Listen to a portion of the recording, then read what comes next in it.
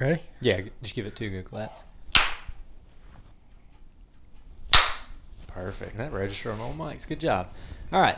Welcome back, everybody, to another episode of the Southern Outdoorsmen Podcast. We got a whole host of people here today, a bunch of podcast alum. Everybody here has been on the podcast before, so this is pretty slick. Uh, I'm going to let everybody introduce themselves. So, starting with my left. Uh, Kyle Lybarger with the Native Habitat Project. Yes, sir. Anthony Troncalli, Jacob's uncle. Alan Summerford with Native Habitat Project and Land and Legacy. Jacob Myers, the one and only. Oh, man, it does sound weird. He's not in our headphones, so that was kind of underwhelming. Yep. Not gonna lie, old, old Jacob Myers. Um, so this is this has been a podcast. It's been, I guess, a couple weeks in the making now. Uh, we actually filmed a bunch of stuff with you guys, Kyle and Alan. Uh, you came down here to the farm.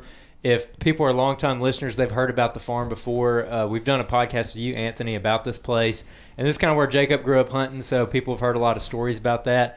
And uh, we got you guys to come down here to look at the, the native habitat, the the prairies that are here, I guess you would call it, and uh, just kind of basically see what he had. And then we were all going to get together and talk about it. And we're going to talk about that big old humongous buck behind Jacob that, uh, that Anthony you shot out here last year, old Hightower. So people heard us talk about that on the podcast a couple weeks ago.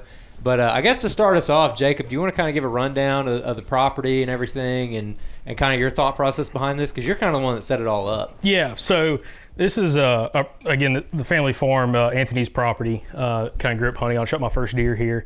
Um, actually, I th- shot my first two deer on this property, and um, growing up, this is the only place we had to hunt. Other than like y'all had hunting clubs that we went to a couple times. You and and, uh, and uh, Michael a couple times, but n- never really had any success.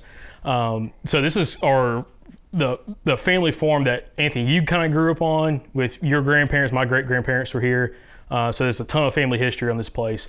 Um, and previously, like when we grew up here, it was mostly all pines. There's a lot of isolated oaks on this property, and we had an episode Anthony with you talk about hunting isolated oaks, and this is kind of the starting ground of that, of where you kind of learn that skill set uh, for early season bow hunting, the whole nine yards, and with all that, um, since then, about I think you said how many years is it? How many years ago that this place get cut? The pines? 2012. 2012, so 11 years ago, uh, this property got cut, pretty heavily cut.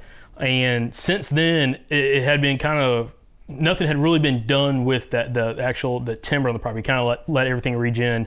Um, but this property's produced some really nice deer. And recently, last year, you shot this buck, which all the viewers can see, which is Hightower. Which Anthony, actually, I want to put it. You can sit it next to you. you sit Hightower's right next to you.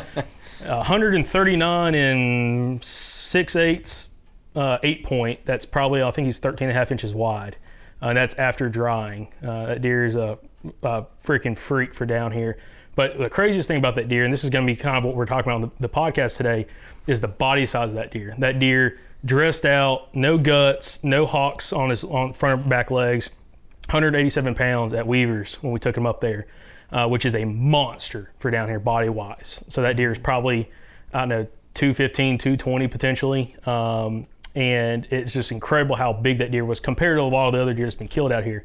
Um, but the habitat's really kind of transformed over the last really few months because this property was extremely overgrown, uh, just with a ton of sweet gums. Pines had come back in the whole nine yards, and you actually rented some equipment, a skid steer uh, with a brush cutter on the front of it, and cleared out a ton of stuff. Which a lot of people think of like, why would you, you know, that some of our deer hunters be like, well, why you know taking out the thick cover? Okay, and this is why we got Kyle and Alan here.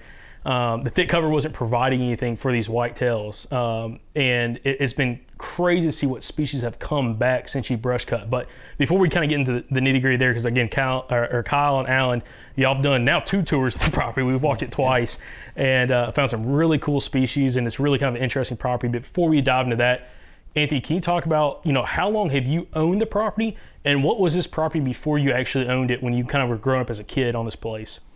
Well, my granddad, grandparents bought it in 1955. Uh, it was cows. I can remember born in 1970. I can remember coming here when I was knee high, and the cows would. This was the original house here. The cows would actually come up to the to the house.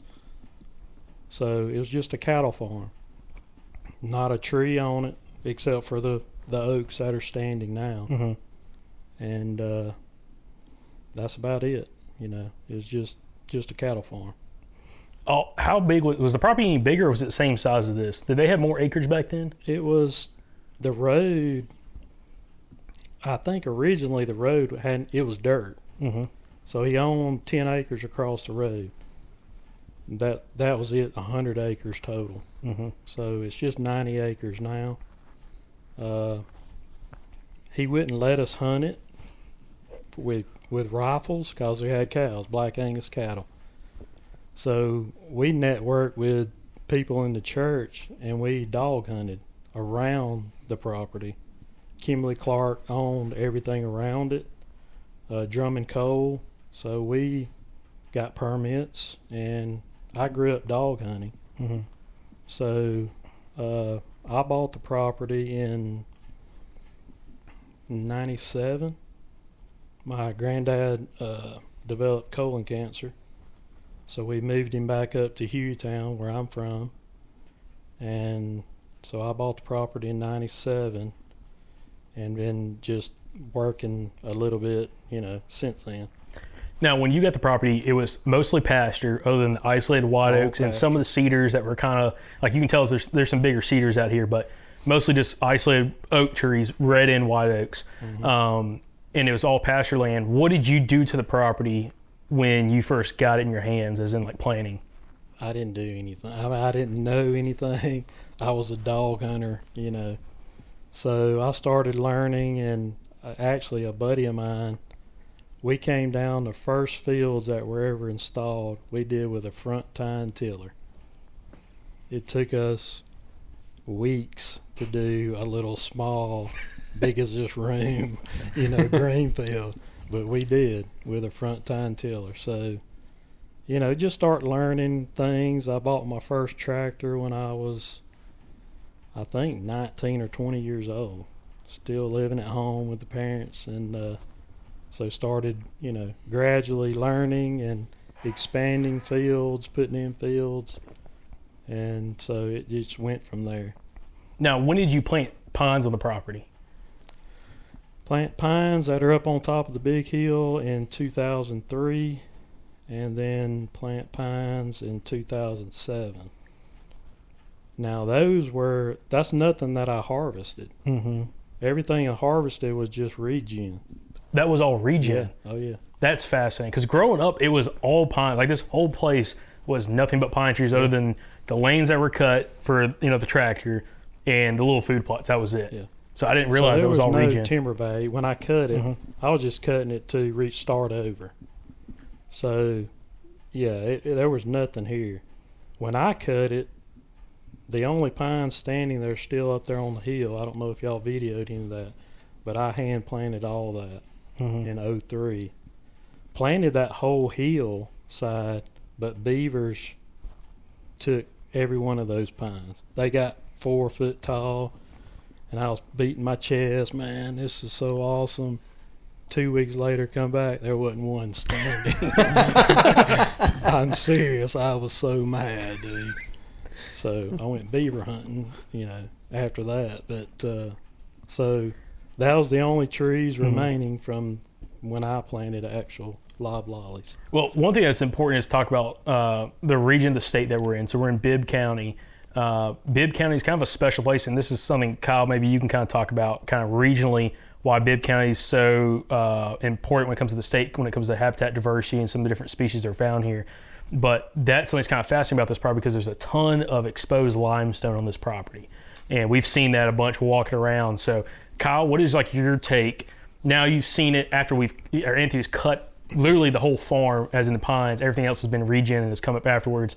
He came through and brush cut it. But just like all the exposed limestone and stuff, like how is that something special to like this area of the state or just part of Alabama? Yeah, um, and don't hold me to this, but I think it's a dolomite limestone. And so, uh, if you've heard of the Lost World of Bibb County, um, it's uh, it's on the side of Alabama's U-Haul trucks, and uh, it's I guess in the '90s, I think they found, gosh, it was it was at least like eight, maybe more than that, but new species to science on this little dolomite glade along the Cahaba River, and uh, it's uh, a lot of lot of species that depend on uh, this type of limestone um, in general. I mean, there's a, just limestone in general, there's a lot of species that depend on it, but dolomite limestone specifically hosts, I mean, these specific plants, and and that's why you find uh, really rare, important plants on that kind of exposed limestone ecosystem. So Now, something interesting about that, you'd think of exposed limestone, exposed rock as terrible wildlife habitat.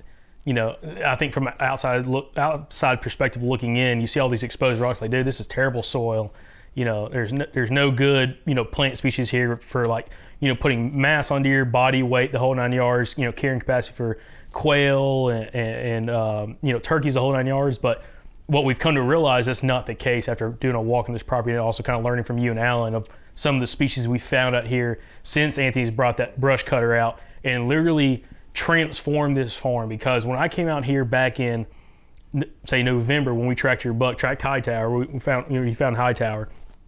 It it was still thick, overgrown because after it had been cut back in 2011 or yes no 2000 and, what year was it? 2012 you kind of just let the place go. Like it didn't really there was no there was a little bit of fire in certain spots but it wasn't widely burned no herbicide use. So a lot of it got really really crazy thick and under and thick understory which i think a lot of places do. People don't pay attention to It. a lot of people it seems like get a property clear cut and they don't know what to do with it. Next thing they know they've got a, a small stand forest growing and you know they don't really know what to do with that.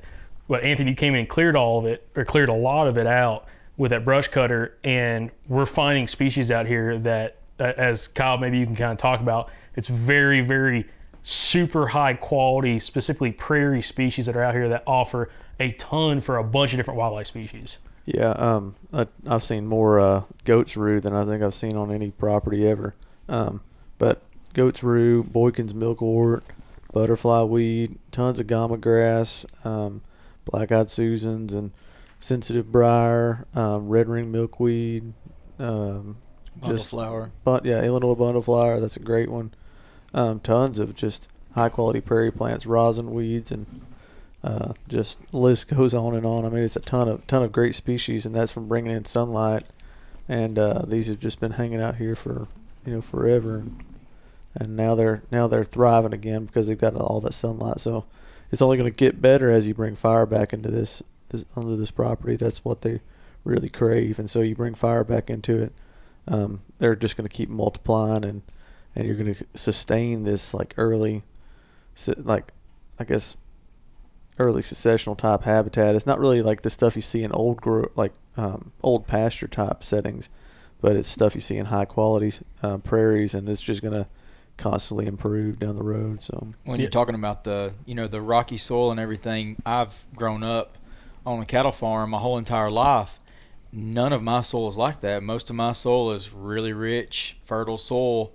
And so there's a lot more that happens in that type of soil because people mm-hmm. will Yeah. will disc up and they will plant and you can get equipment over it so you spray it and all of those things. Whereas in an area like this where you've got the limestone that hinders you from using tractors to disturb it and sometimes it has some of the most awesome diverse species that you that you lose in those other areas And species that aren't just cool to look at, but actually add a ton of value for wildlife species. Yeah. absolutely Yeah, tons of legumes out here. I mean, native legumes like there's desmodiums and tick trefoils and Illinois bundle flower and you know um, goat's rue. I mean, tons and tons of uh, different native um, species and legumes that can be browsed on by deer. They're going to flower and attract a ton of insects. I mean, every sensitive briar we came across was just getting there was insects just I mean, hovering around the whole plant is crazy. And so they're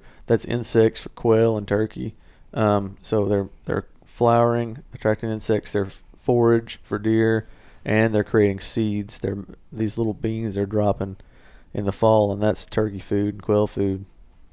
Can Can you explain what a, a legume is, um, and, and like in a way that a lot of deer hunters probably be familiar with? Yeah, it's like a like a deer hunters are probably familiar with like soybeans and cowpeas. Is that's a clover clover. Yeah, clover's a legume, and um, vetches, and I guess vetch is a legume, right? Yeah. it is and so these are, those are nitrogen fixers and and so the thing is is with a lot of those maybe not clover a lot of those are annuals you have to plant them every year these native ones are perennials so they're once they're there they're there and as long as you maintain the type of habitat that they like to thrive in open canopy and and uh, you know you use fire, those plants will stay there forever. They'll keep multiplying on their own, and they're perennials, so you don't have to plant them every year. That's that's free food, and it's uh you know if uh, food plot companies sold this, they'd be out of business in a couple years. So Well, legumes are, are great in the deer world because you're seeking that high protein rich food source, and the, Mhm. so you've got native legumes that are really really high in protein as well, and so they're Yep. free.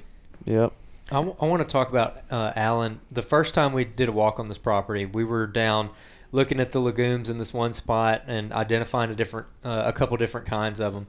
And you were talking about the soybeans that that are on the farm here, and the difference between like the soybeans right now, it's mid June and they're two three inches tall, but those native legumes that we were finding like down in the bottoms and, and in the prairies or whatever, they've been growing since like March. Right. Growing Soon as your green up. So Yep. can you kind of rehash that, kind of dive into that about why that's important for antler development? I guess probably fawn development. I mean, just the overall health of your deer herd. Right. So I kind of noticed this whenever our, which was a cattle farm, um, got converted into a row crop farm, and I thought, man, this is going to be the most amazing thing ever because now we've got row crops mm-hmm. that I do not have to plant or manage or do anything to, and it was kind of, you know, it wasn't as good as I had hoped for. And what I started realizing was, is you know, a lot of times the corn, you know, it's doing nothing to grow antlers from the whole entire time it's in the ground. So it's basically you can just write it off. It's not growing antlers. It might be a okay food source, you know, in the fall or whatever. But then the soybeans, they would spray these fields out. These fields would get sprayed out in February. Um, our deer start dropping our horns down there in March a lot of times.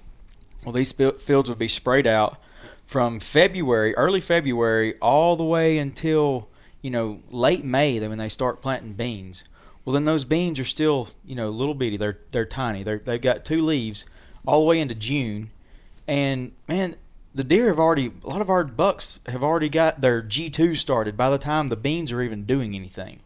So I realized then it's not your soybeans growing your deer; it's your natives that have been here starting to grow and, and as soon as things green up in March, they're already putting on leaves, they're already putting on, you know, new growth and everything. And then by the time June gets here, most of the ones we saw here are already knee high. I mean, producing way more. If I told I told Jacob, I said, Man, you grab a bucket and I'll go I'll go I'll grab a bucket and I'll go pick the native legumes and you pick these in this food plot right here and we'll see who gets done 1st mm-hmm. And it's a huge difference mm-hmm. in the amount of forage that the, the natives are providing as opposed to the food plot. Yeah, and it, and it's so dense too because that bean field, it's like here's a bean sprout, here's a bean sprout. You know, you can kind of walk down that line, but out in the prairie, it's just like you just grab a handful wherever Everywhere you look. you look, yeah. literally everywhere you look. Uh, so I, I, I mean, I just kind of found that fascinating. And, and real quick, I want to get more into the farm and what we saw here and, and the status of this place.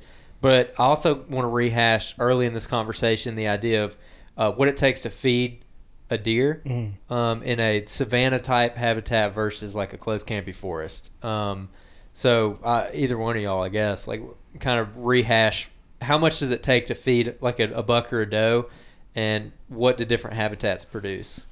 I'll go. Uh, so you know, it takes like two thousand pounds of food a year to to for a doe to survive, and so in your open prairie grassland type settings where you have a lot of forbs, you've got like 2,000, 2,500 pounds of food per acre, and in a closed canopy um, situation, you know, you know anywhere from 50 to 100, and you know in the best, like like Alan says, the best setting, you know, you got 250 pounds an acre of of uh, food in a closed canopy forest, and so in a savanna, you have, you know, those hard mass producing trees like you'd have in a closed canopy forest, and soft mass producing trees, and you also have that forage in the understory, that grassland component that has a lot of food, um, you know, things maturing at different times for those deer, and then you've also got woody browse, you've also got hard mass from those big oaks, and then you've got food for everything else too, quail, turkey, and uh, frogs, lizards, anything else, you know, songbirds. And then you've also got fawning habitat, nesting habitat, brooding habitat. I mean, it's like a whole package. I feel like savannas are like the, you know, the most productive ecosystem we have in the southeast. and uh, you're kind of covering all your bases with one type of ecosystem. Well, But- and with a savanna too, your your deer are not just surviving. A lot of times you go into closed canopy timber and you see things that deer don't normally eat, yet they are browsing the cr- the mess out of it because they're starving to death, Yeah. and that's just the only thing they have to eat. Whereas you go in the savanna setting, it it takes a deer from just going into survival mode into going into they're thriving. yeah, They're they're they're expressing genes like this that they weren't able to express because now they're they're able to start they're they're they're coming out of the winter in a better condition where they start putting on you know mass on their on their antlers whereas before they were just growing a rack. Well now mm-hmm. with all the food that they can eat starting at an earlier time now they're able to express those genes that they've been held back because they were just starving to death. Yeah, and and that being said, you know, as savannas are awesome, but you still want a you know you want diversity on your property. You want different types of grasslands. You want open prairie. You want you know you got limestone glades here. You've got um, you know woodlands which have more of a shrub component. You got savannas which are have an understory of grasslands. Having that all that diversity throughout the property is really important, and then managing each of those. Um, breaking each of those up into different sections and managing them different, applying fire at different times, that really promotes diversity even amongst one type of ecosystem. You have one savanna, you know, with post oaks and short leaves and blackjacks, you know, all these upland hardwoods and pines. Um, spread out, and these things are spaced out far enough to where they could fall and not hit each other. Um, but there's grassland underneath, and you could split that up, and the whole thing looks the same across it, but you can burn it at different times, and so then you're maybe one part of it has more native grasses, one part of it has more forbs, and one part of it has been freshly burned. So, like on Alan's property, he talks about, you know, turkeys, turkey poults. They can't carry them. They can't just like pick up those poults and carry them miles away. They've got a little. They got to follow that mother around, and then if that you know that hen's got got to have that right habitat for those poults within walking distance. And so when you give that mosaic of different types of grassland ecosystems on a property, you're really setting it up to to uh, for wildlife to have everything they have in one spot. I've got a couple things I want to, I want Kyle, I want you to answer. First off, what is a savanna? Like, what components makes a savanna for people that don't understand that? And then also explain like what are the components of a prairie and how do they differ? Yeah, so think of a closed canopy forest, and you know so dense that sunlight can't get through, and then you it opens up a little bit, and you've got spaces um, you know in between those trees, and you have a shrub component. That's a woodland, and then think of you know spaced out trees far enough to where they can't fall into each other, but you have grassland underneath. That's a savanna, and then wide open prairie, which we had in Alabama. We had a lot of areas that were wide open prairie, not a tree in sight.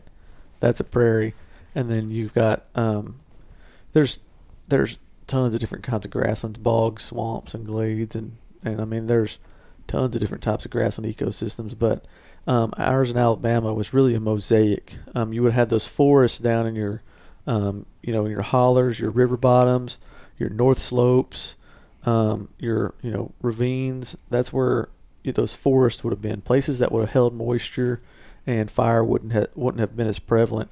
But your grasslands and your savannas would have been on your ridge tops, your south slopes, your east and west slopes, places that were drier. And so when a fire came through, that fire burned really hot, going through there and knocked back woody vegetation and and uh, maintained it as a grassland or savanna. And that it was really a mosaic. It kind of changed throughout. You know, you were getting it was just a patchwork of different types of grassland ecosystems. And when you're managing a property, you want to keep that in mind. You don't want to try to put a savanna Mhm. down in a bottom against a creek or you know different things like that. So you're you're going to use the land what it wants to be and promote that different slope aspect or Yeah. is it a riparian buffer is it wet is it dry is it rocky is it you know those different type of things you're going to go to a property and you're going to try to manage it for what it wanted to be historically Yeah, unless it's like a bottom on your place where it's open and it just floods periodically. yeah That's a different kind of bottom land that would have been a grassland or savanna kind of. But Uh, Alan, can you describe the topography of this property after walking a couple times and kind of like how does it how does this property set up compared to like a property that's a lot more flatter because I know you got some properties that are really flat just with the topography on this property, how you can have a mix of these different habitats all in one property that's only 90 acres. Right. So I mean, this would be what I would consider a gently rolling hills type of property. It doesn't have anything super super steep or not a ton of elevation change, but you can literally just walk across these hills and you get on one edge of it and it looks totally different when you go on the other edge of it all because of the slope the way the slope is facing what what type of sunlight it gets. Um, you know and then you got these small little just not really even a creek or a drainage. You don't even see anything where water would run but it's just a seep and it just stays a little damper a little moisture and then you got a lot bigger more trees in those type of areas and you know you've got a lot more diversity on a property that has a little bit of hill because just because of the angle of sunlight coming down to it. Whereas if you got a whole entire flat land like what a lot of my place is is flat um, you don't have that slope aspect to change. It's going to be more soil types. And um, in, in the flatlands you'll have one soil type right next to another soil type and one area grows trees one area does not. Um, so that's the differences Yeah. And also, another thing about this property, we didn't mention this for the listeners uh, or the viewers as well, but since this property has been clear cut, and even with uh, Anthony coming back through it and you know, brush cutting a lot of this, you know, really doing a, a very uh, extensive cutting on the property, it's probably 70 ish percent open, maybe, and 30 percent closed, or like more closed canopy, some stuff that needs, you know, more fire and stuff to kind of manage through it, with a bunch of isolated oaks throughout the property and some small stands of, of pines have been planted, but nothing extensive. But for the average person, they look at this property and the average deer hunter's thinking like, dude, you need a whole, you know, expanse of white oaks, or like, you know, you want all these mass trees. And I think a lot of people go to that. It's like, you know, they want to buy property. It's this huge upland hardwoods uh, because they think like that's what grows big bucks. And I mean, Alan, we, we kind of mentioned this last time we had you on, but like your property in Tennessee was like that, Yeah. and you came through and did a, a pretty heavy select cut. Opening up more savanna, and it's made a big difference. And, and one thing we didn't mention on your po- on your podcast, but you even saw a body weight difference between the deer before you cut and then after you cut. So let's talk about that because that's a big proponent of this podcast with like Hightower, how big that bu- buck that buck was body weight wise, but seeing that progress with other bucks and hopefully the does as well, um, and us kind of keeping track of that. But what what did you see on your property before and after the cut when it came to body size of deer? So when we first got the property, there had been some clear cuts on it that were probably somewhere in the 10 year old range. So they had already gone back to closed canopy. Um, the rest of the timber was just gigantic, beautiful white oak after white oak after white oak. I mean, just trees you couldn't reach around, gigantic trees, long, tall timber. And I remember when we first got there, man, there's so many deer there. And like I almost felt bad. I, I knew it needed, man, we need to do a huge doe harvest. But I almost felt bad of killing a doe in September when bow season would open up, which was one of the better times to do it. Man, they were bones, skin and bones. Like you felt bad even shooting one because there was no meat. And but we we shot them anyway, and uh, and just years and years and years of just shooting the does and knocking the herd back. But where when things really turned around is when we opened up the canopy. So we had already been doing the doe harvest, um, and you know they were getting a little bit better. They weren't skin and bones anymore, but when we would kill a mature doe, they would be about 85 pounds. I mean, like the biggest doe in the field, you think that's the one I want to shoot. You shoot her, she's 85 pounds, which was a lot smaller than what I was used to killing in Alabama.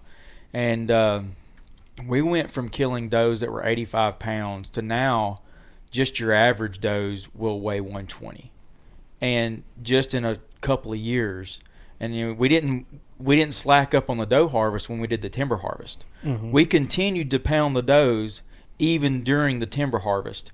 And then our bucks also started we started gaining mass. I mean we started out seeing deer more like these you know a little more spindly type horns. They would have some tine length to them really nice deer they never had mass mm-hmm. and then now we're killing deer with absolute mass i mean really really really good deer So I want to mention this as well. A lot of people think, well, you know, they see all this marketing for supplemental food, supplemental food, pushing supplemental food throughout the year. oh i had a lot of food plots But when I'm talking like pellet food or like, Oh, like yeah, protein yeah. pellets, like that kind of stuff, they see the marketing behind it.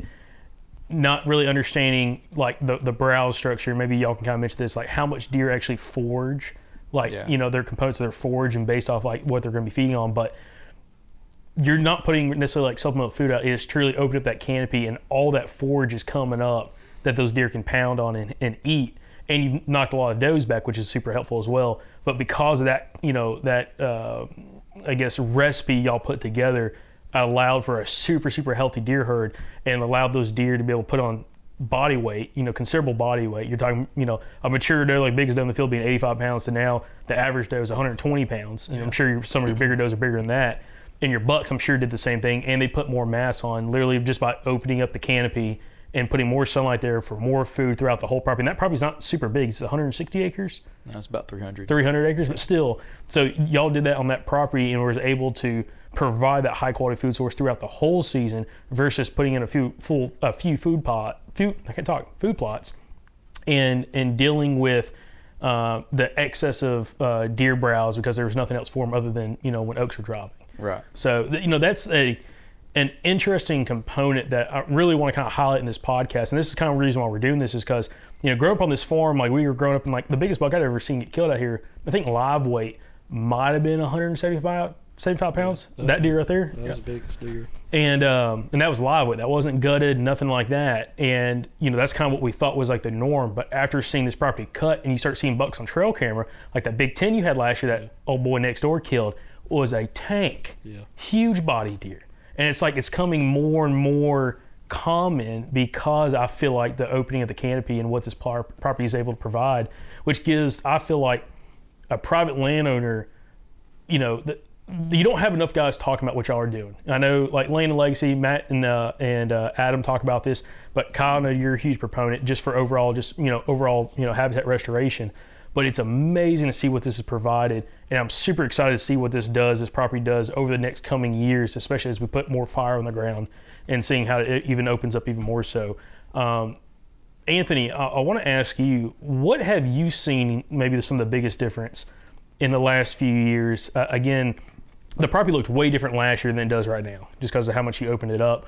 But just over the overall like deer herd numbers and everything like that, and that kind of component, and the buck numbers, because you always seem to have bucks here early season. You know, there's batch groups on the property, some mature bucks, and they kind of disperse, and you'll have more come back to the rut. But like, how have you felt the property's changed maybe the last few years on the property versus maybe you know 10, 15, 20 years ago?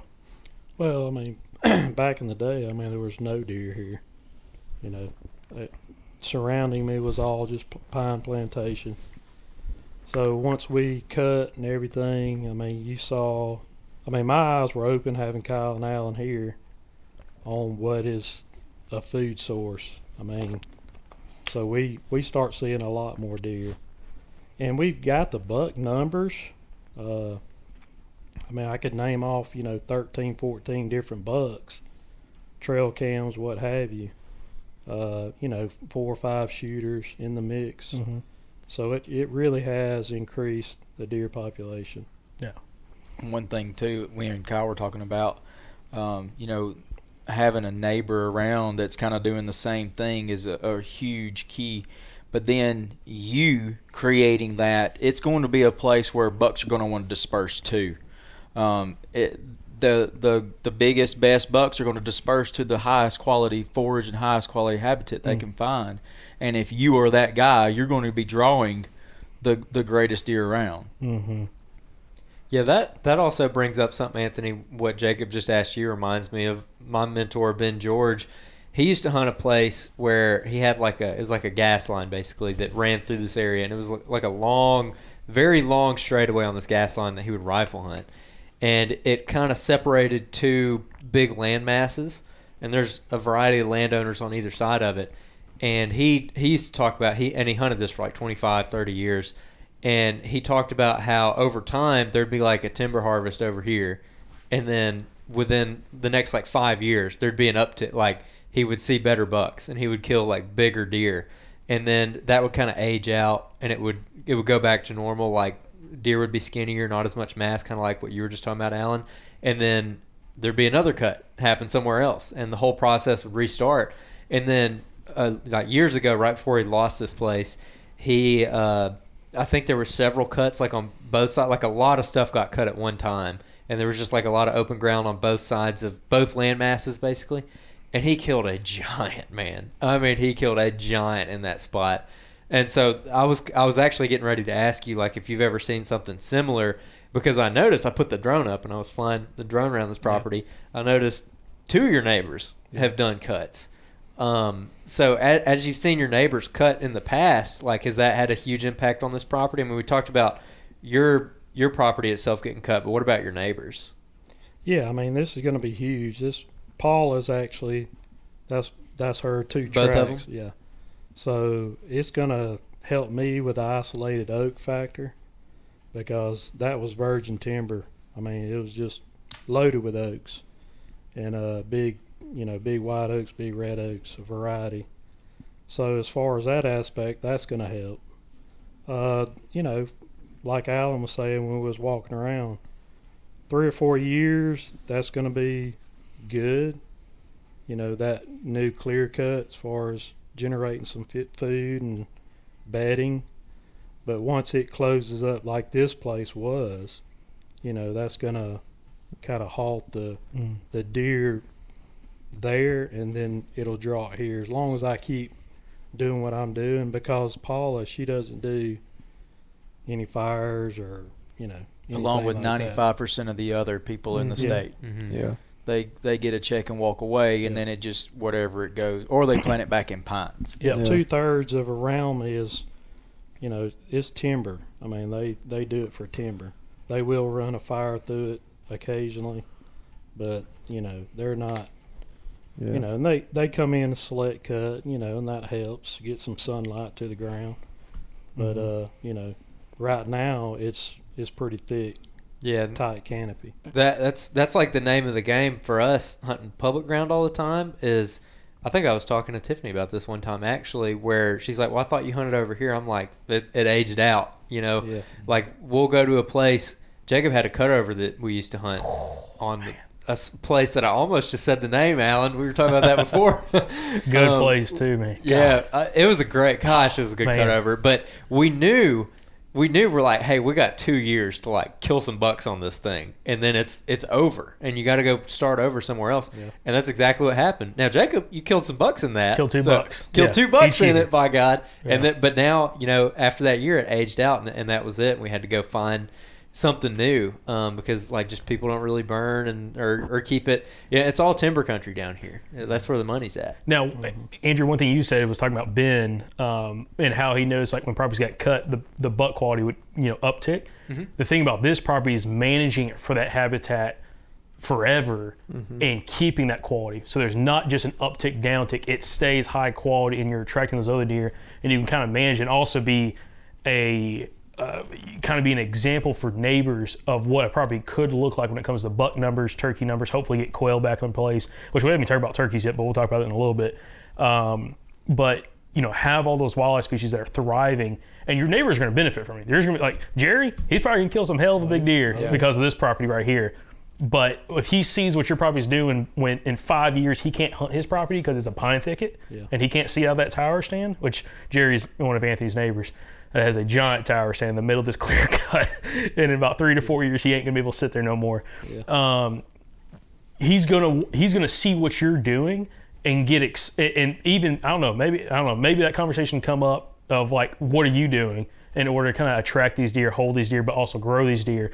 And it's not from a supplemental food program. It's not just from food plots. It's nothing from that. It's truly from the habitat, doing what the habitat has to offer, and truly growing those exceptional deer, but also providing for other wildlife species as well, especially like the turkeys, which we never mentioned. But the last time you killed a turkey out here was 2016, I think we said.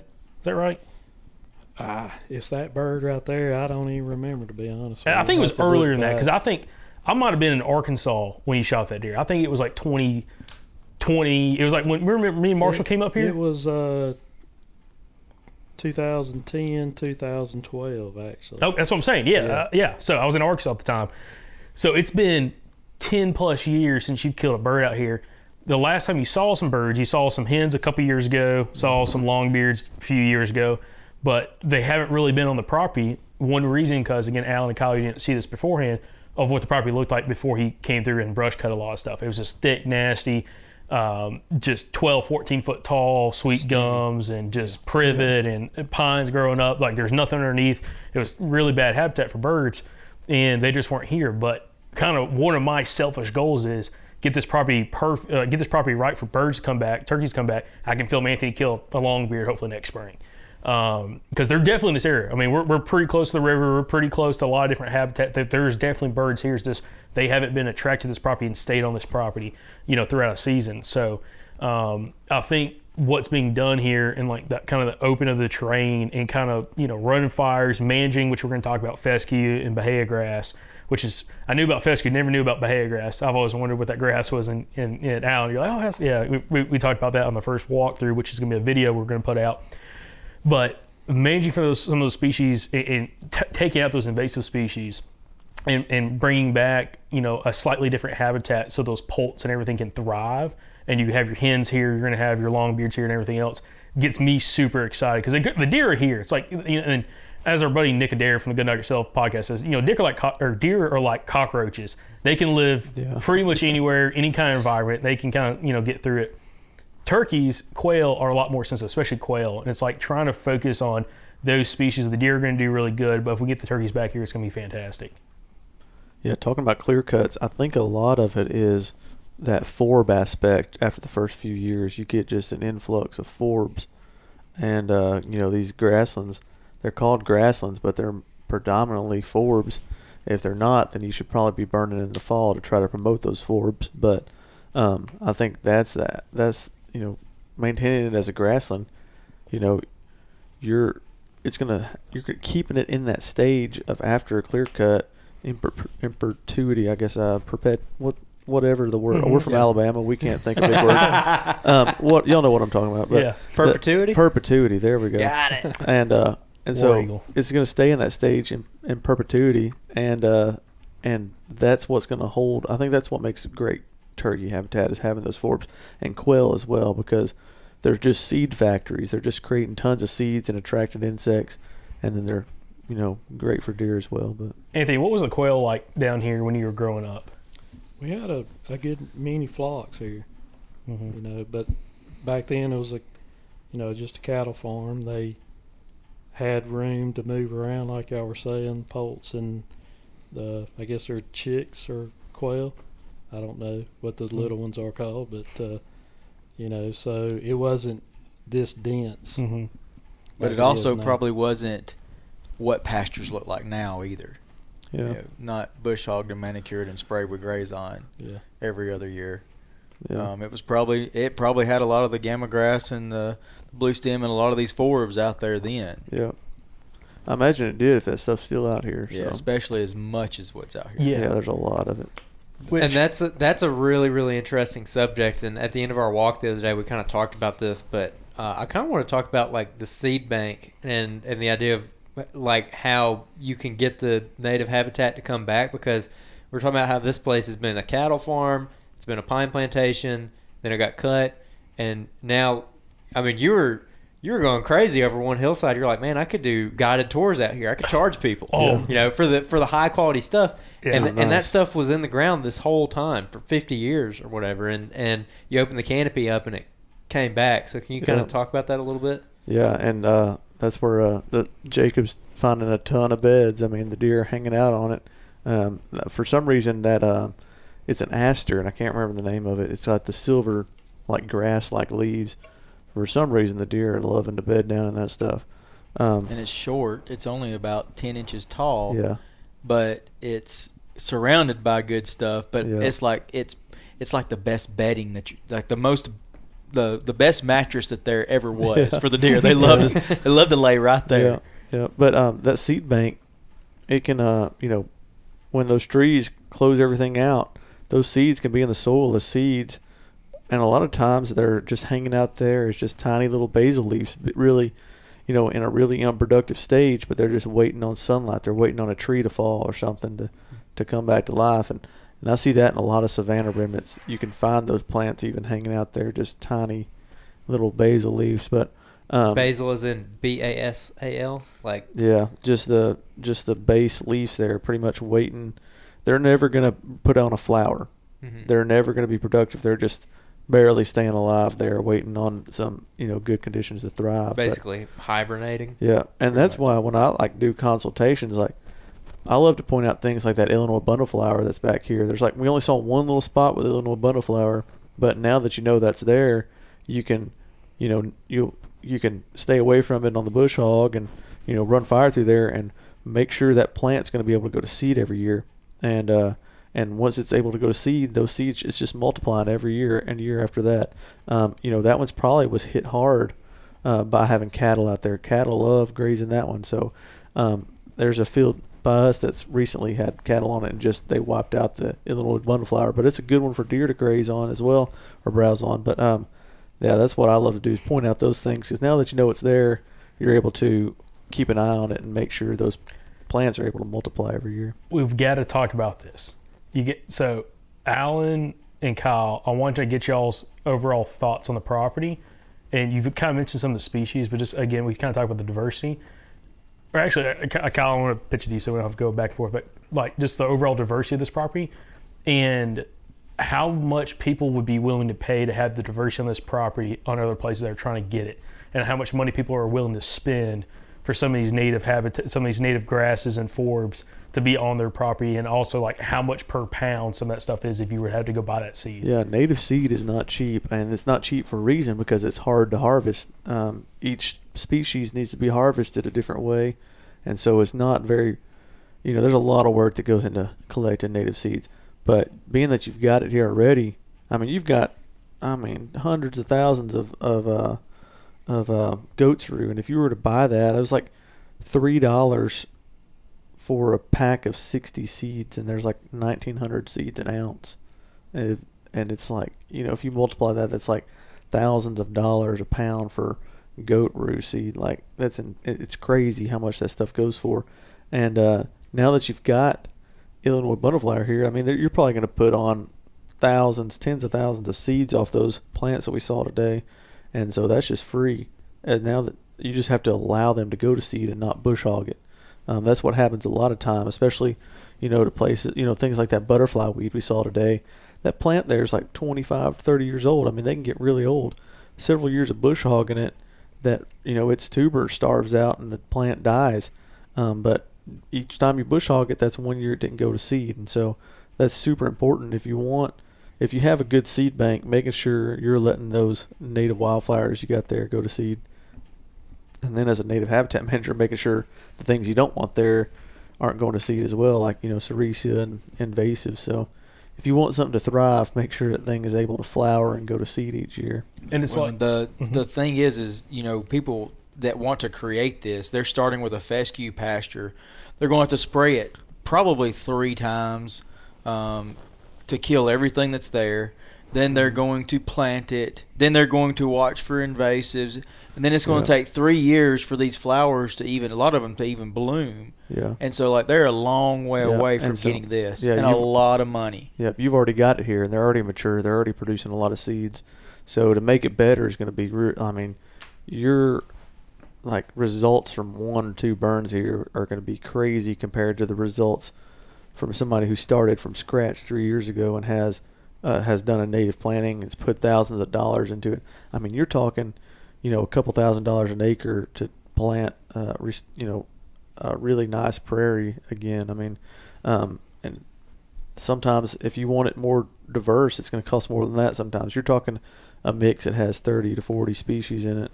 Um, but I mean, that's I've going to got my cost own you a fields lot. that I've tried to have this kind of diversity. And I'm like, well, I'm just going to go spray the field and get rid of the non-native stuff and see what comes back. And then I get like four different species, and I'm Yeah. so disappointed. Yeah. And so, like, I will have to plant and buy seeds Yeah. to replace what that looks like. Or it's just like ragweed and partridge pea, which are really beneficial plants. But those, like those, are super good native plants. But they're not high quality prairie species like what you've got out here. Yeah. Those are just your basic pasture plant, you know, natives that when you kill off the fescue, that's what's going to come back. But So one interesting thing that we saw out there, especially today, we were looking around, is all the pawpaws and like the Yeah. different areas and the different types of pawpaws on this property. Kyle, can you talk a little bit about that? Because there was one spot we sat, we were talking. You're like, here's one, here's one. like there was Yeah. 30 coming up in a probably a, a 40 square foot area, maybe. Yeah. Um, there's so I'm I'm the scientific names I don't have off the top, top of my head or the common names, but I think it's small flowered pawpaw is the one that grows on upland sites. Um, and so those are the ones we're seeing on top of the hills and those dry soils. And it's a shorter growing pawpaw tree. I mean, it might get head high at the most, um, but most of the time they're around your waist. And they're making a smaller pawpaw fruit. But then you've also got the actual, um, um, I, can't remember. It's the the common pawpaw that you see growing in river bottoms. Y'all have got that out here as well. And that one can get 20 foot tall and I mean as big around as your leg.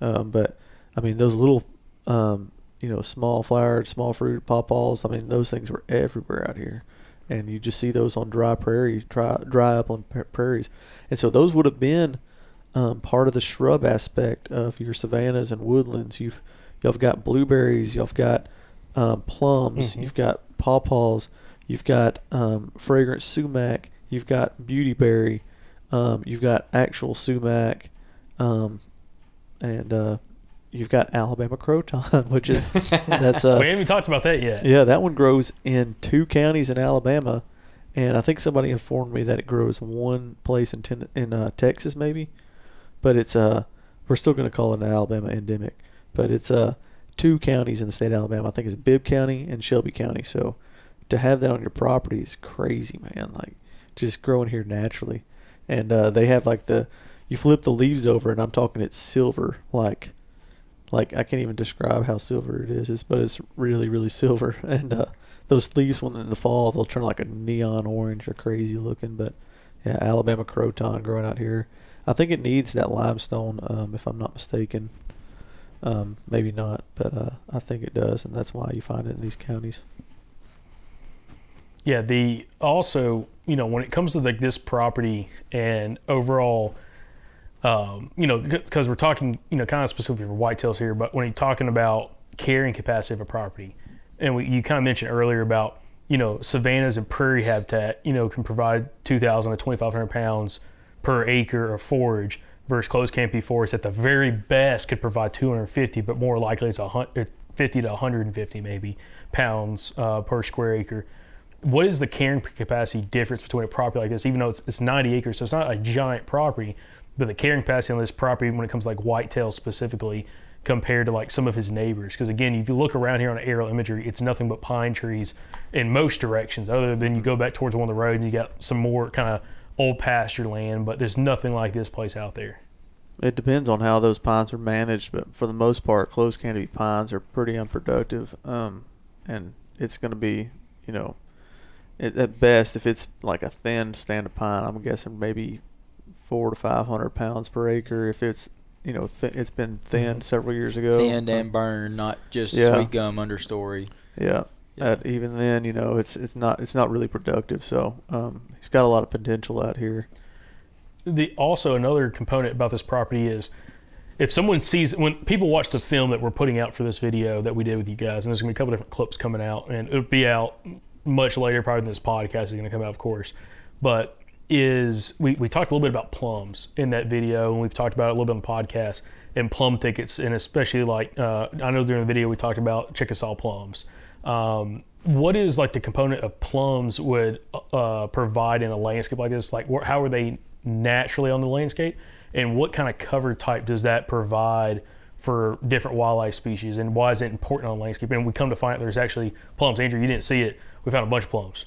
Uh, Oh, there's yeah. there, I, there's some I never even knew about that some. Anthony had. He had some there. Giant, really? Giant, we were eating plums earlier. Yeah. Oh man, I want some plums. So, uh, what what do, what do plums provide when it comes to like a habitat, both from like a food source, but also like a structure cover type for different wildlife species? Yeah, so they're a great food source for all kinds of animals. You know, deer and, and turkey and quail all will will all eat plums and their pits. Um, and then you know they're flowering shrubs, so they're great for pollinators. Prunus species are like excellent for insects. Um, but uh, then they're pro- providing a lot of cover as well. They got that thorny, you know, shrubby component, and uh, they kind of have that umbrella effect for uh, for quail and turkey poults, so they can run around underneath and they're protected from aerial predators, and that's super important in, in making sure you have brood survival. Um, so thickets, thickets. I mean, that's something we do not talk about nearly enough, like native thickets, and I think that's because we have so many non-native thickets replacing them in the southeast now. So, um, but native thickets, man, like that should be something everybody's trying to put on their property. We got hazelnuts and plums, and I mean, a lot of the shrubs I named earlier, pawpaws, and and y'all got a y'all had a spice bush out here. Like, it, it there's a shrub for everywhere, and and they're going to be great for great cover for deer and you know other game species, and they're most of them produce berries, and uh, for some reason most thicket forming shrubs are very good berry and and uh, seed producers. So that's super beneficial for wildlife. Yeah. The uh, And you want them scattered across the landscape. Yeah. Like if you've got an open grassland, you don't want it to be just 80 acres of grassland. You're going to want, you know, pockets of shrubs scattered across it. You know, like about as far as you can throw a baseball. You want to have, you want to have a, you know, a pocket of a little uh, shrub component. Um, down in the black belt, I've got tons and tons and tons of these little um, plum thickets, and you know, I've been running fire through there for years. Well, what happens is, is you'll kind of get they kind of like grow in rings, and so like you kind of have some in the center where the fire doesn't really get to, and uh, because the they'll they'll kind of grow down like almost like a pyramid shape, and so like the ones around on the edge they kind of get burnt back just a little bit every year. Well, then that's you know lower, you know one one and a half to two foot tall, and it just stair steps up. Then ones in the middle they may be ten or twelve feet tall, hmm, and so you got the different diversity of you know when a quail or a turkey poult is out there feeding in the forbs and everything, and then an avian predator comes down. Well, those things don't they don't want to have to go very far, dive off in and hide, Yeah. and so they can get in and you know like we said, an umbrella effect. Well, a, a hawk or something's not going to be able to dive down through that plum thicket to attack those those baby poults. Yeah, no, that, that's interesting. Also, uh, there's a couple other species I want to kind of touch on. Um, one being post oak, uh, which is kind of interesting. So I know uh, Kyle, kind of holds near near to your heart because I think that's your logo for Yeah. Native Habitat, right? Yeah. right? Yep. So it's a as a forester who likes grasslands, that's kind of like the the symbol I chose. But it's like when you find post oaks, it's a really good sign of savanna. So if you're looking for remnant savannas, like you got to think the first thing to go are your grass and grasses and forbs. The next things to go are going to be your plum thickets. They're going to get shaded out and outcompeted. But post oaks can usually survive. They might instead of being a sprawling out post oak, they might have to turn into more of like a timber tree and grow straight up. But you're usually going to have uh, post oaks hanging around because they can live three to four hundred years. So if you're looking for a remnant prairie or remnant grassland, um, savanna, you know, look for post oaks. So usually in those savanna, your our savannas in the southeast were usually made up of post oaks, blackjack oaks, chinkapin oaks, really any of your upland oak species, um, hickories, shortleaf pine, longleaf pine, um, loblolly pine in some places. Like it's that we we had. It's usually the fire dependent species, and so if you look at something like post oak, they they're really fire tolerant, um, and their leaves tell you that because their leaves are uh, when you drop them on the ground when they drop on the ground. Just think about walking through certain species of oaks, how crunchy those post oak leaves are. Really lofty. They make this huge dense bed that's very, very, it burns really really well. But then look at like your bottomland oak species, water oak and willow oak. You don't have that. Those their leaves don't burn really well because they're not fire uh, adapted. They don't really necessarily need fire or want fire, um, and it might harm them or kill them a lot easier than a post oak or a white oak. So, um, but yeah, when you're looking for a prairie remnant, post oaks are always the first thing to look for. And there's some big, really big post oaks out here. There's that one tree that you really like that's got all the willow, Yeah. or it's got all the water oak saplings and everything kind of grown up around it, but it's got all those sprawling limbs where you have limbs that are three feet off the ground that reach out for 35 feet off that tree. Yeah. uh, which is kind of interesting. And again, I never knew that's what it was. I was like, oh, it's, you know, some oak. I don't know exactly what it is. But and then you look around the property after Anthony came through and used that brush cutter and, and just cleared out a lot of stuff. And you know, he did this in March or he did this in February, and it's some of this stuff's already two and a half, three feet tall. Some you know, some of the sweet gum saplings are coming back 4 feet tall. But you see all these post oak saplings everywhere, like in different pockets. It seems like they're kind of popping up, which again kind of you know represents that you know this was you know prairie at some point or you know savanna habitat. Um, and like you were mentioned to us when we were walking around, they do really well with fire, so you can burn it. You're not going to, you're probably not going to kill those saplings, those, those sprouts. And it's just trying to manage exactly how many of those you know saplings do you want to turn into trees. And again, so it doesn't get close canopy, you know, kind of manage it with herbicide and everything, making sure, you know, you still have that kind of savanna component or maybe have different pockets of those, you know, post oaks, but they don't just take over uh, in that case. Yeah, you don't want to get too dense of, of tree cover, and and uh, there's kind of a, I don't know. That's that's kind of fire doesn't always.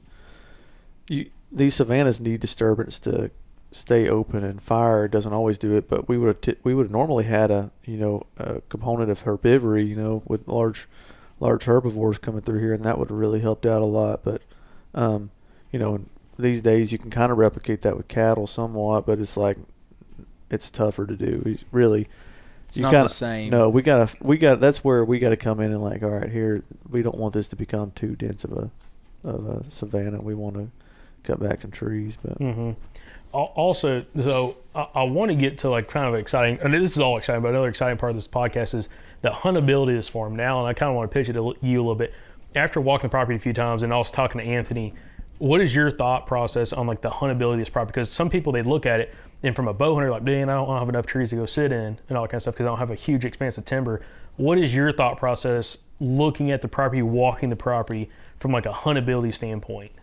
Well, it can be really, really good. Um, you know, some properties you look at, you kind of have an outside in approach, and then some are going to be more of an inside out approach. And the way this property sets out really sets up really good. He doesn't have great access all the way around the property, but some of the the primo bedding areas that we saw where deer are already selecting to bed is kind of only the the outside not necessarily on the outside edge, but you know you can leave the deer safe and secure around that part, and you can slip into the middle of the property where you know you're down in a bottom.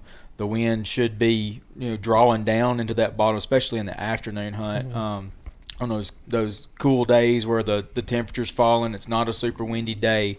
It's just going to suck all your wind right straight down to the bottom, and and uh, and you'll be able to access in and out through those areas really really well, and leave those secure bedding areas, you know, just slightly up above you to where the all the, the food's down here, and they're coming, they're wanting to come down here to feed in the evenings and stuff, and so like huntable, you know, pick. There, are several spots that were, were ridge tops that were really really great.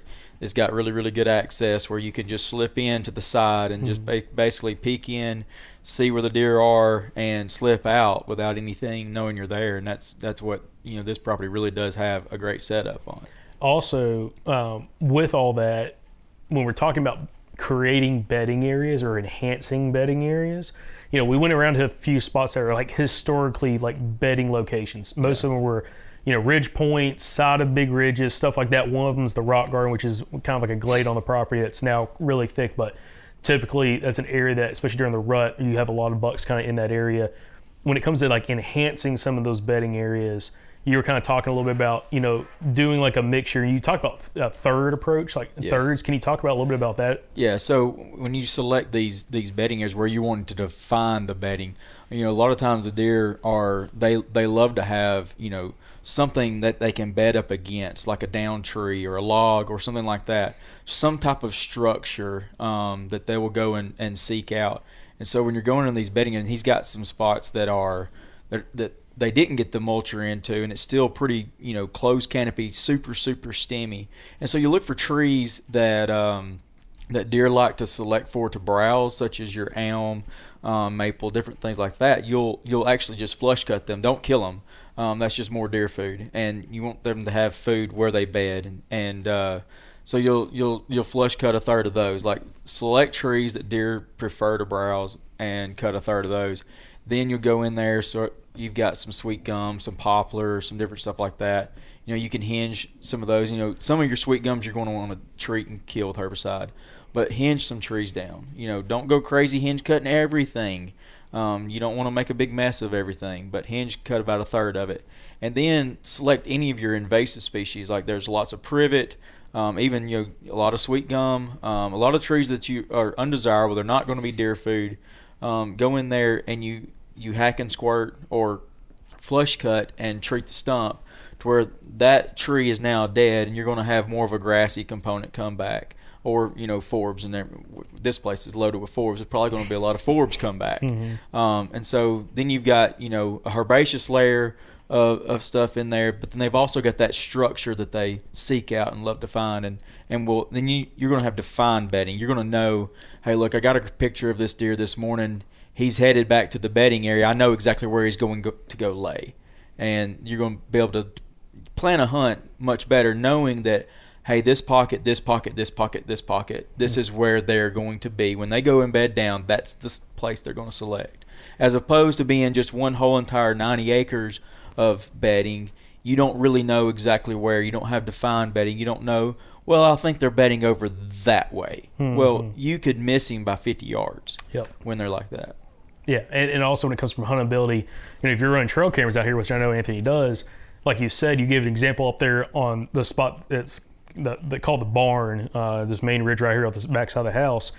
There's that thick spot to the north that sets up. You have a couple two small ridge points that drop off that you know deer are already bedding there, but they can be tremendously enhanced doing like what you're talking about.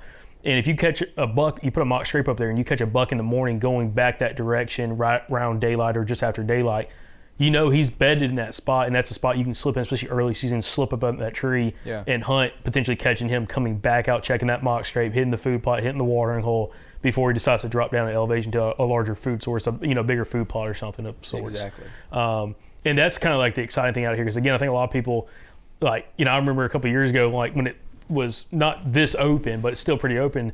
And I remember me and Anthony talking about like, man, there's not a lot of places to put tree stands in. But if you, you now like you have the opportunity to put you know whether it's plum thickets in or different kind of travel corridors you can kind of make your travel corridors where you can run those deer by those stands like you were talking about cutting fire breaks cutting those trails kind of quartering off some of these trees where it comes by 25 yards and these deer are going to use these cut trails and there's a bunch of cut trails on this property where you kind of funnel those deer right past you where you have an awesome bow opportunity even though you're in a little bit more of an open stand. It's not like you're in like a dense cover where you're hunting a feed tree per se. Right. you're catching them coming from bed, going down to one of the food plots, or coming across one of the ridge lines, browsing, and you have them kind of slip right by you. You get an opportunity to be able to shoot them, you know, with your bow, or during rifle season, you can actually be probably a little bit less invasive on this property uh, because you can kind of back up a little bit and you can see a little bit more. You can kind of have a visual and try to figure out what you need to do in order to get an opportunity at a deer. Absolutely, and you know you you just you've just got a better plan in place. I mean, it, you're you're you're not just going in there and hoping well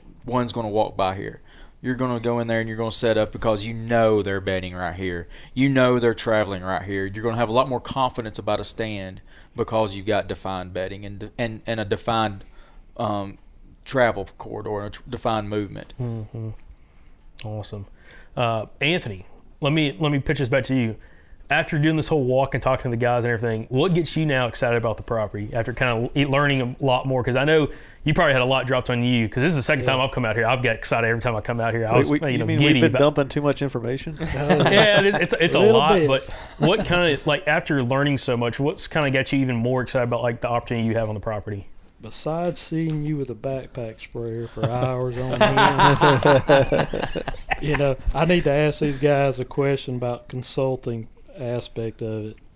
Like Kyle setting up that savanna, we saw all the post oaks and the all the you know I've got names that you know I've never heard of. we talked about flag and tape, man. It's gonna be flag and tape everywhere. yeah. So we actually go out there and, and flag a post oak that we want to Yeah. Do here, and then 50 yards away, do you know? Yeah, I would, and that's that just makes it easier. So, um, you know, if you come out here and, and flag it, then when you turn Jacob loose on this place with a chainsaw, Yes. you know, when he's out here doing That's his work dangerous. days, That's real dangerous. That's the with the chainsaw. Just gonna put that out there. And but Keep going. you don't have to worry about. He knows what to cut and Yeah, what not to cut. the Myers with chainsaws, we, we don't want to. Oh gosh, yeah. So, yeah, but go ahead. Yeah. Yeah, but that's how that's you know I always mark them just so you know just get out there and get a plan originally, and you you'll probably as you're cutting it find a few things that you want to save, and um, you might end up having to take some of those out that you marked originally. But um, that's how I usually like to do it, just to have a good plan, and then and then it's easier to mark them now in the summertime, and then in the wintertime when you're in there and there's no leaves on there, you know which ones you know were what, and so it's easier to identify those oaks right now. And then when you when it's cooler and you do want to be running a chainsaw, like it's uh, you don't have to think about it. What is that a post oak or is that something else? You know. And then you'll start learning once you see what they look like in the summer, what you see what they look like in the winter. You'll be able to look at a tree in the wintertime and judge it by its bark. And then you'll also have a good representation of like, hey, I know that one was a post oak because I marked it was. yeah. And then you go and you have something to compare it to. Yeah. So that's that's why I, I like to do that usually, but um, you know I don't do that all the time now. But um, when I back in the day when I was in that situation where I couldn't identify a post oak in the wintertime, it was definitely I think an important part of of going through there and knowing what to save and what not to. Mm-hmm. Yeah, absolutely. Yeah, dude, I'm just so excited because again, storyline is like I think the deer just continue to get better and better. As I just want turkeys to come back, and we have turkeys come back, I'll be so happy. I just because I mean Anthony's gonna kill them, you know, bird or two this Yeah, coming I spring mean- on camera. You know, it's been neglected. I mean, I'll be first one to say, you know, but I'm living here now, so I'm ready to get to work, and and uh, so I'm excited. I'm I'm scared to get on a tractor now and bush hog. you know, everything y'all been pointing out, I don't want to damage anything. yeah. so, you know, but I'm ready. I'm ready. So I'm this time of year is not really the greatest time to bush hog. Yeah, no, No. I'm not getting on. uh, w- w- one other thing I was going to mention. So, like we mentioned earlier in the podcast, Hightower that buck sitting between you guys, uh, both Anthony and Kyle. That deer was kind of an anomaly, as in specifically body size. Like rack, yeah, like there's been some big deer, here, but like that mass on that deer is very special. Um, and kind of like the goal I feel like is make that not an anomaly. That is that is in a few years, three four years, you know, make it where you have deer of that caliber and then some on this property, you know, every single year to be able to target. Um, I mean, but then again, maybe I should pay attention to you, Anthony, more of the photos you send me because you had a couple last year that were jot. Yeah, like I mean, you had that ten point, and like Hightower's a big deer. That ten point, maybe it was just the angle you had him in the trail camera was a freaking stud. I mean, there's there's been deer. Uh, like I told you, there's two types of frames of racks. Like the ten, you know, that I called him short brow 10 Mhm. I mean, he was six and a half years old.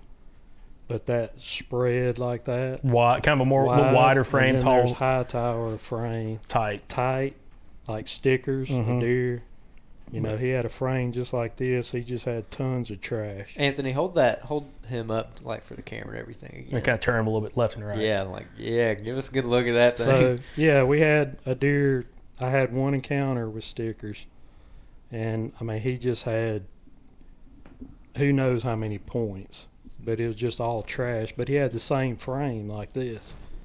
So I mean I've had a lot of a lot of big deer, you know, on camera. I've just never connected with Mhm. them, you know. So they're here now. Probably not the body size of Hightower. Yep. And I think you know the the habitat has played a huge role in getting him to where he was. How, to kind of close this out here, I want to hear about how that hunt actually went down for him because you had his like several years of history with him, right? So, Yeah. I mean, like when did you first notice him? What was that progression like? First picture's 2019. Uh, I got you know 2000 you know 20 21 killed him November 22nd of 22. So uh, you know had a history with him. Uh, never had a daytime picture of him. I had the first daytime picture was a week before I shot him. And I was just moving trail cameras around, trying to pinpoint, you know, like I said, living here, I had a lot more time to get out there and do that sort of thing. So, uh, actually, I was telling the guys earlier that I went out and the weather guessers said it was going to be a northwest wind. so I went to a stand where I, I got a picture of him. I hung that stand and uh, saw him for the first time. Uh, it was an afternoon hunt and uh, went, that was a week before. Went back the day I, I shot him. You know, supposed to have a northwest wind. And that was perfect for that stand. Uh, got in there, sat up, uh, set up, and it was northeast, just constant. So I said, man, I got to get out of here. So jumped down, run up to the next ridge, and I was just up there to really shoot a doe. It was the power pole. You know, y'all seen the power pole. Not And, uh, sketchy at all. Yeah. So jumped up there, had uh, crossbow and compound with me, and like I said, I wasn't even thinking Hightower at that point. And uh, you know, it was right at last light. I heard a deer. Wind still blowing northeast.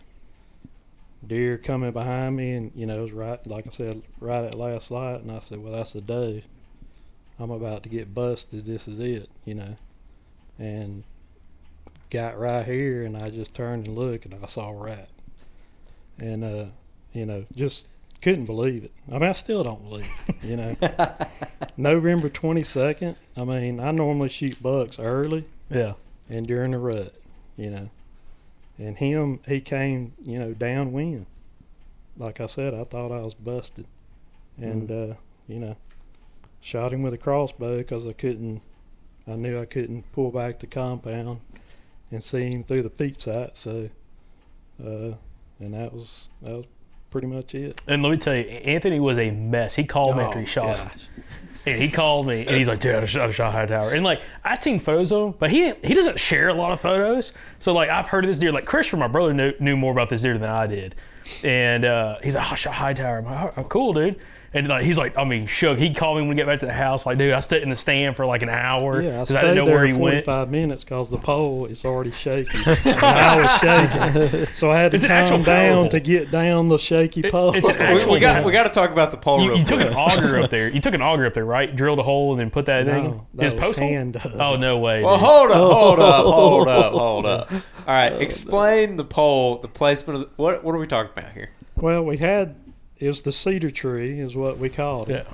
Well, I ran a fire through there, killed my cedar tree. And, and you had a stand in that I had tree a stand. that and was just a that jam was up stand. for 15 years, I guess. the cedar tree. Hey, I'm going to the cedar tree. You knew where we were going. Ran a fire through there, and it was a you know brushy cedar, reached the ground, and I toasted that thing. so I had to find another spot, and there's you know isolated white oaks right there. So that was kind of the draw. We do have a field right there, but uh, there was a pine that you know we had in it right next to it for a couple years. You had to stand in there for a year or two, and then Christian was like, "I can't reach around you it." You couldn't reach her. I mean, it was dangerous. I'd rather climb the shaky pole than. That's know, what I asked. I said, why is it not in that pine tree? They, you they, can't reach around that thing. they were- yeah. Yeah, scared, hanging the stand, putting your stand Yeah. back down is sketchy. Kind of get it set up So correctly. I have a business. Uh, we had a pole laying there. I was like, man, I'm gonna go. I'm gonna go put that pole up because I don't really have a place to put a stand now. So myself and my two sons went up there and hand dug like six feet down. you know, with a dig bar, post hole diggers. Now I know why Jacob don't come out here. yeah, I ain't built Yeah. for that. Listen, I got it- dishwasher Had my skid steer. We propped it up. You know, packed it with 8910 limestone, and uh, I I've been wanting to go set some cables up. You know, to tighten it up a little I was gonna bit, say we when we, secure it. we put a corner post in the ground, we always brace it. Yeah, I've been wanting to do You got no that brace on this one, dude. You for good at- years. I just never have. I came And, up here last summer, maybe a year, whenever you put it up, and I saw you climb it, and that sucker, you're climbing it, and I'm like, you that thing's there, moving more than like a an eight ten inch pine tree you're going up, just like kind of going back and forth as you're going up that ladder, that stick ladder. No, Yeah, thank with you. a pine, you have limbs just in case you, you know, That's hilarious. you hilarious. can grab onto, but you don't have nothing. In I'm always thinking like, man, I wish there was a tree right here to put my trail camera on, but you took it a step further, man. You're like, you just put a freaking pole in the ground. Made to a stand up. site, kind of So brushing. I, you know, I got I made my own lifelines. I have lifelines and all my client, you know, my lock-ons. So, but when you get up there, you don't stand up. How many feet is it up that stand? How many feet up is that stand placed at? You think? Psh, I don't know, eighteen maybe, sixteen feet. Yeah, feet. Yeah, Yeah. yeah, I Mm. guess. yeah. Yeah, too don't- I don't know. I mean, I'm not. Yeah, Let's it's say it's in the teens for sure. I know that. yeah, But But so you shot him out saying so. Kind of going back to the story when you, you called me, that that pole was shaking because of course after the fact. So you had to sit there for a while to chill I out. couldn't believe it. Yeah, I couldn't believe it. You know, I just shot Hightower. You know, we we were talking earlier. It's like you feel kind of bad. You know, that you have a history with a deer and then you finally take him. You know, you feel kind of sad and excited at the same time. So yeah, I you know had to calm myself down, and I thought I heard him crash. You know, when I shot, you know, I was he was quartering like this, and I put it back on the ribs, aiming for the offset shoulder. And I think I hit him a little forward. So, uh, you know, I was running like everybody. I was running the shot through my mind, you know. But I said when I shot, he ran down, and I thought I heard him crash. So I'm, you know, feeling good, but, you know, not sure because it's Hightower, you know. So get down. I call. I think I called my buddy Brian, hmm uh, Little bearded landscaper. bearded landscaper, and then. Uh, That's his brain, guys. Yeah, that's not his nickname. Anyway, sorry. but then I called Funny guy. called you, called Michael, my brother. I said, man, I, you know, both of you, I just I just shot. You know? So and then uh, I said I thought I heard him crash, and I said I'm going back get Bailey because she's helped track some deer before, and I take her on any bow shot just to, you know, train her. And uh, so I actually drove my truck after I kind of undressed, got everything, got a good flashlight and everything. Drove my truck to just up the hill and parked it there. So we walked out, and I get out to where I you know, I made the shot, and the bolt's actually right laying right over there. I find the fletching end of the of the bolt, and uh, you know, decent blood, and uh, so I shine the light just forward a little bit, ten yards, and I hear this commotion. Oh no. And I'm like, oh my gosh, I just jumped him. And I just, I just died, you know. That's you talking about shook up. I was, you know, sick. And I was like, there's no way, you know. I thought I made a good shot. So I called you back because you were on the way with Mhm. Pepper. Pepper. Called Brian back. Called, you know, called everybody back. It's like, man, I just, I think I just jumped him, you know. So, you know, I actually sent y'all pictures of the bolt, hmm and I was like, "What do y'all think?" hmm Had just tons of fat on it, Yeah, I was like a brisket shot. And everybody's like. going, "It's a brisket," and I was like, "Man, don't tell me that." You know, that's just making me feel worse, dude. You know, so uh, I just, I think I asked you, and I, I just told y'all to turn around, you know, because Yeah, I was like, we'll just get him in the up. morning. Yeah. I was like, what what would you do, you know? After y'all saw the picture of the bolt. And I think you just told me to back out and hmm not go back the next Yeah, because that was like, it was 10 o'clock at night, yeah, I think. yeah. 10 or 11. Because I remember I literally about, I went to the gas station. He called me. I'm about to crack open an energy drink because I'm, I'm worn out. We did something that day. And I was like super tired. I think I'm about 100 that day. So I'm like about to crack an energy drink at 11 o'clock at night to get out there. And I was about to crack it. He called me like, thank God. I'm like, I ain't going to drink that now. I won't be able to go back to sleep, dude. I have to go down to the farm and just hang out with Anthony because he ain't going to go to sleep tonight. No. So I, I talked to Michael for a minute, my brother. I was like, what would you do? And uh, he said, I'd wait four hours. And all I want, all I wanted to see was see blood. That's all I wanted. If I walked down in there and it was not good, just bright red or what have you, and I didn't see any kind of bubbles or any kind of lung, you know, evidence of a lung shot or anything, okay, I'm gonna back out and let him lay. So it was. I think I do. I sat right here. Matter of fact, turned TV on and you know just kept running the shot through my mind, and was sick, and you know a few Coors Lights might have been involved. so, uh, you know, I just sat here. I think I dozed off one time, and uh, because I'd I'd worked that day, and uh, before I went out, you know, and so I was tired, and then I was miserable, you know, thinking I'd blown it, but uh, so it was twelve thirty. You know, November twenty third had rolled in. And uh, I got up, left Bailey here. I walked, didn't take the truck or anything. Didn't want, uh, you know, I want to be as quiet as possible. And I made, I don't know, 20 steps, found blood, bubbles all in it. And I was like, oh, yes, you know, felt a lot better. Kept walking, found actually lung on some brush. So I felt real confident then. So he was right where I heard him crash. He was dead. It was the commotion I heard had to be other deer or something in there, you know. Mhm.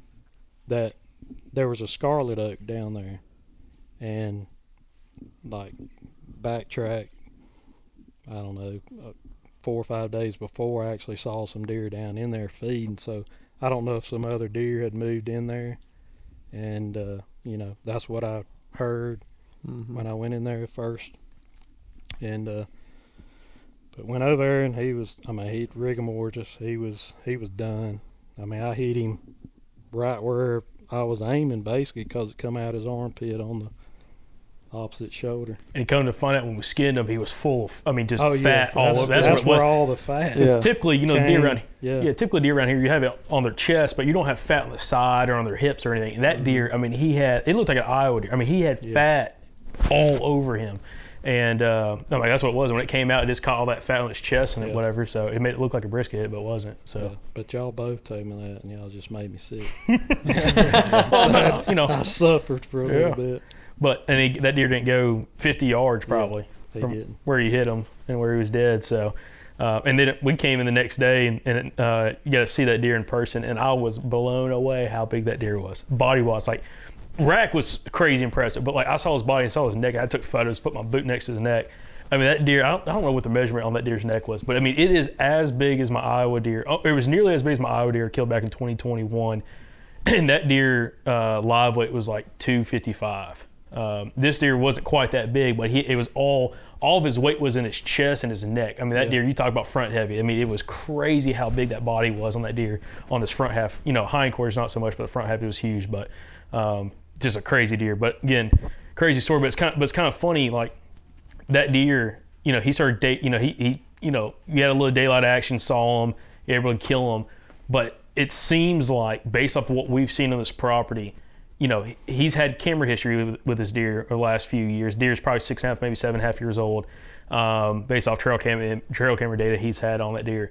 But with the early successional habitat and everything that's on this property, it seems like that deer was drawn back to this property as he got more age on him, and as some of that stuff got more and more open. So, kind of goes back to you know that deer's an anomaly or was an anomaly, but let's try to make that not an anomaly based off the habitat management of this property. It kind of comes full circle on this on this property in this podcast of, you know, that's the kind of deer that want to be producing and others kind of like the Big Ten, like that y'all got Big Ten he had. I mean, Alan, not saying it's like, like you got some giant deer, okay, but for down here, that Big Ten's a freaking monster. Well, and don't he- let let that be average. Let let's let that Oh, set the that. bar You- higher every time because if you just get complacent Yep. of well, yeah, we got a good deer this year, well, you're you're robbing yourself of something that can be really really great. Yep. Especially because you talk so much about age structure and letting those deer get that age on it. And, if you look at that deer, both of his G 2s Mm-hmm. he's wanting to put some stickers on. He's got it there. Yeah. Yeah, absolutely. And like the webbing on that left G two as well. It's you know it's just super cool. But like you said, yeah, like, if that's the average deer, Anthony, you might I might have to pay you some money to come down here and hunt. Dude. I mean, listen, we might need a, we might need a, a deer for the podcast. You know, kill on camera or something. We'll something. harvest seed, make some money, Yeah. and I'll There you go. We'll go get some goat's rue seed. Yeah. Yeah. We'll strike it big. freaking fifteen hundred dollars a pound or whatever it was. Crazy stuff. But um, awesome. Well, uh, Alan, Kyle, do y'all have any kind of just final thoughts? Just kind of you know final thoughts on the podcast and property and kind of moving forward potentially with the property and maybe what y'all would like to see or just overall thoughts on everything. I mean, great property. I was I was pleasantly surprised with how what you know the quality that was here. So really, I mean, fire I mean, that's what this place needs, big time. So, I think it's uh you're well on your way to having a really great property. And it's already you're already way above average. So, For sure. For sure. yeah. Awesome, man. Uh, I to kind of close this out, uh, Anthony. First of all, thanks for letting us come out here and, Mhm. and film this stuff and, and record podcasts on it and talking to us. This has been awesome.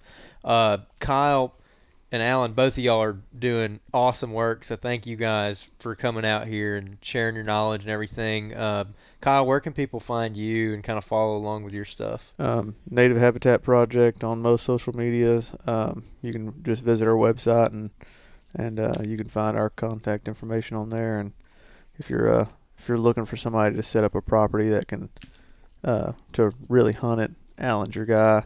Um, I can I can point out some plants, but um, I can I can't hunt as good as this guy over here. So, but uh, he's he's great at setting up places.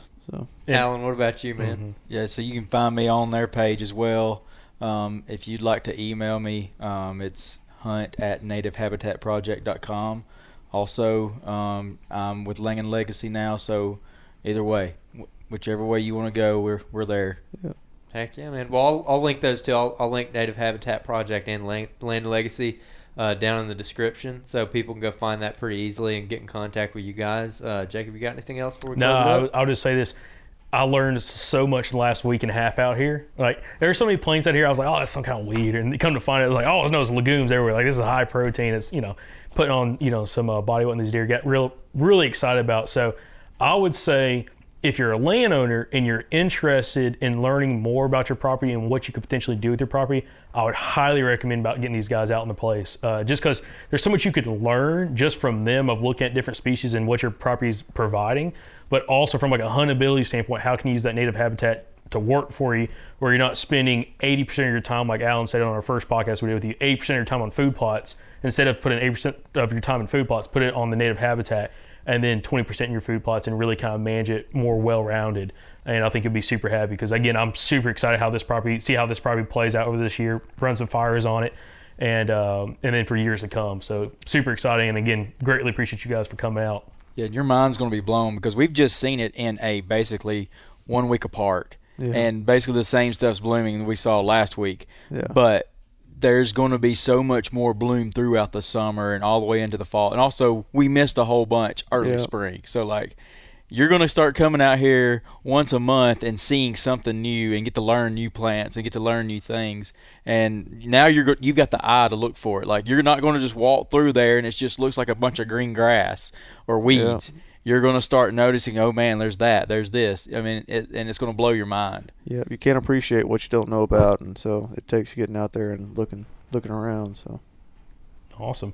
Well, guys, appreciate y'all listening and watching this podcast. Again, doing a video podcast now. So if you're an audio listener, you can actually go over to YouTube. And Andrew, by this point, is it going to be up on Apple Podcast, video podcast? Uh, no, just YouTube. Just YouTube right now. Just okay, cool. YouTube. So just YouTube right now. You can go watch this podcast if you decide to.